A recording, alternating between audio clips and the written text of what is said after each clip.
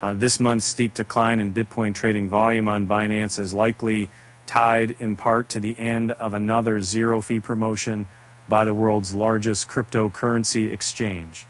The seven day average volume was dropped by 26% since the start of September, according to researcher CC Data. On September 7th, the exchange halted an incentive that allowed customers to trade between Bitcoin and the TrueUSD stablecoin without a fee.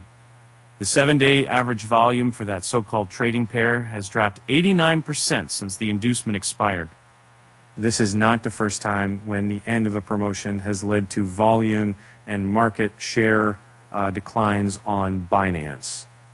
In one week, in March, for example, uh, Binance's last share of all spot trading uh, shrank to 58.8% from 65% after it ended a zero fee campaign for trading in Bitcoin uh, cryptocurrency pairs. Um, Binance's trading dominance has been undermined in part by lawsuits filed this year by the U.S. Commodity Futures Trading Commission and the Securities and Exchange Commission, uh, which allege that the platform didn't uh, register uh, with U.S. regulators.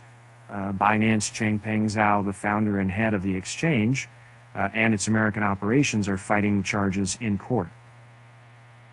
Uh, the ending of zero fee trading isn't the sole reason behind low trading volumes, said Jacob Joseph, a research analyst at CC Data. The current regulatory concerns around the exchange might have driven users to other platforms. Binance's trading volumes have steadily been declining since it stopped its zero fee trading promotion for USDT pairs in March.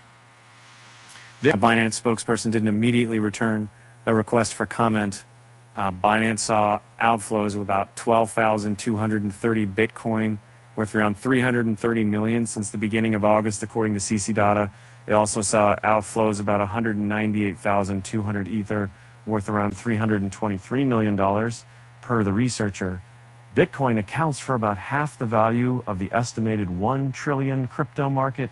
Ether is the second largest cryptocurrency at around 20 percent and Binance's spot market share has declined to 33.9% from 56.9% in March, according to CC Data.